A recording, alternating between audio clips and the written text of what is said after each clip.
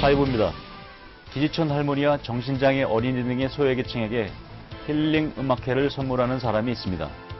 비영리단체 이누비의 강태욱 대표가 주인공인데요. 강 대표는 음악으로 사람들을 위로하자는 취지로 이 단체를 2006년 뉴욕에서 설립했습니다.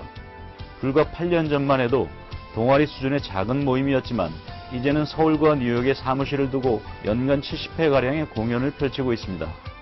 강 대표가 힐링 음악회를 꿈꾼 사연은 동아일보에서 확인할 수 있습니다. 지금까지 미리 보는 동아일보였습니다.